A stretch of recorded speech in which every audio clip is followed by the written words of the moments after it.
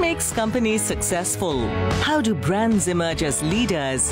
What will it take to build a strong and self reliant nation?